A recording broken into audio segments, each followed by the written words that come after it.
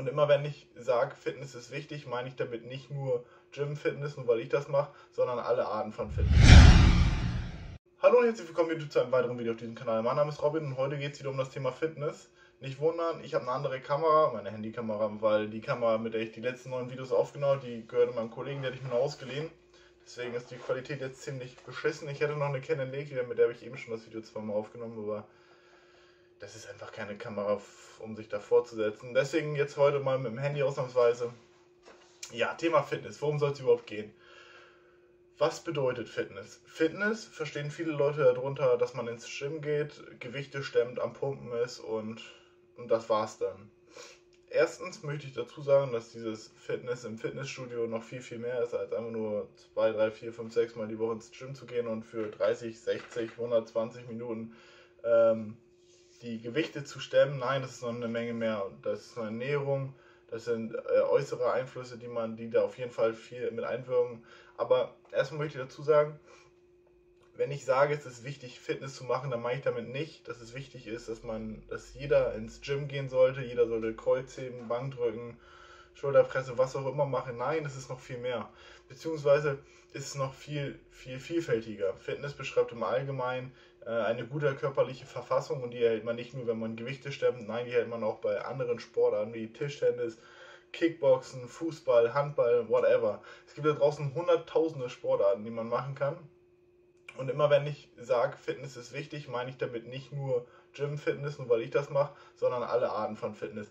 Das heißt, seid ihr jetzt jemand, ihr seid schnell gelangweilt im Gym, es macht euch einfach keinen Spaß, alleine mit Musik im Ohr Gewichte zu stemmen, macht es einfach keinen Spaß, dann ist es auch vielleicht nicht das Richtige für euch. Trotzdem ist es wichtig, dass ihr euch körperlich äh, beansprucht bzw. körperlich aktiv seid. Und wie gesagt, da gibt es ja noch tausend verschiedene weitere Arten. Deswegen ist mein Appell an euch, auch wenn ihr kein Fan vom Fitness seid, von wegen ins Gym gehen und Gewichte stemmen, sucht euch trotzdem etwas, worauf ihr Bock habt.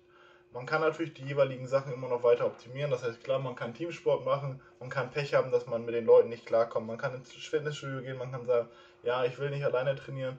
Ihr könnt euch aber auch Gympartner suchen oder Freunde von euch, die ihr einfach mit dazu animiert. Aber wichtig ist, dass ihr etwas macht, was euch Spaß macht. Kleines Beispiel bei mir. Ich habe oh, bestimmt schon sechs, sieben Leute ins Gym geholt.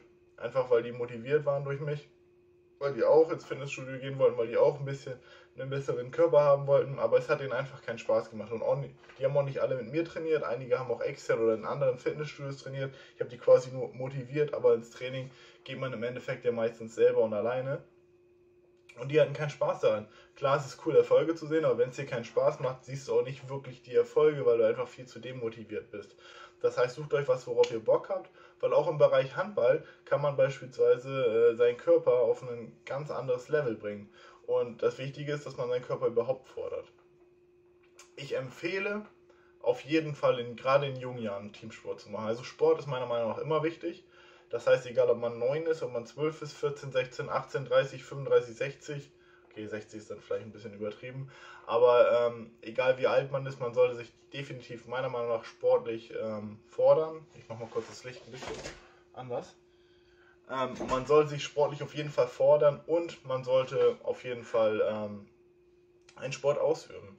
Das heißt, als junger, junger Typ oder als junges Mädchen, so ich würde mit zwölf jetzt nicht unbedingt ins Fitnessstudio gehen. Erstens ist es verboten theoretisch. Ähm, zweitens und da spreche ich aus einer Perspektive, es gibt tausende Arten, ich weiß auch, um ehrlich zu sein, nicht genau, was jetzt richtig ist, weil es gibt so viele Meinungen von Ärzten und Fachidioten. Ähm, die einen sagen, es ist gut, in jungen Jahren zu trainieren, die anderen sagen, es ist schlecht, weil die Knochen noch gar nicht ausgewachsen sind. Ich bin jetzt 21, meine Knochen sind auch noch nicht auf dem höchsten Level. Ähm, meiner Meinung nach sollte man frühestens mit 15 ins Fitnessstudio gehen, einfach weil man dann wenigstens ein bisschen, der Körper sich schon ein bisschen entwickelt hat. Und wenn man jetzt 12 ist oder 13, da ist der Körper in einer so großen Entwicklungsphase. Wir haben ja alle sieben Jahre eine riesen, einen riesen Entwicklungsschub. Das heißt mit 7, mit 14 und mit 21. Das heißt mit 14 würde ich halt nicht ins Gym gehen, sondern so ab 15 langsam. Ähm, ich selber bin erst mit 17 gegangen, aber das kam dadurch, weil ja, ich selber, bin halt selber auf den Trichter gekommen. Ich habe mir, das, mir das niemand gesagt. Ich hatte keinen großen Bruder oder so, der zu mir gesagt hat, ey, komm mal mit oder geh auch mal ins Gym. Deswegen kam ich auch erst so spät zu dem Sport. Ich habe halt bis dahin immer äh, Teamsports gemacht. Ich habe tausende Sachen gemacht. Ich habe auch Karate gemacht, ich habe Handball gemacht, ich habe Fußball dreimal angefangen. Ähm, das heißt, ich habe mich ein bisschen rumprobiert und das kann ich halt auch empfehlen. Einfach ein bisschen rumprobieren, ein bisschen gucken, was einem Spaß macht, was einem liegt und da bleibt man auch dran, weil das, was einem Spaß macht, da bleibt man auch dran. Und was einem keinen Spaß macht, da sieht man keine Erfolge bei sich selber und dann bleibt man auch nicht dran und dann bringt es halt auch nichts.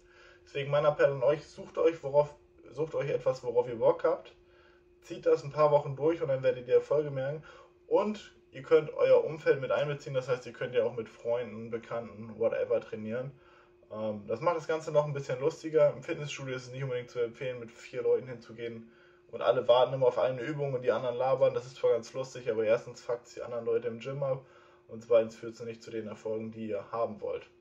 Deswegen macht euch erstmal ein Bild darüber, was ihr erreichen wollt, wer ihr werden wollt, wer ihr seid, wer ihr sein wollt.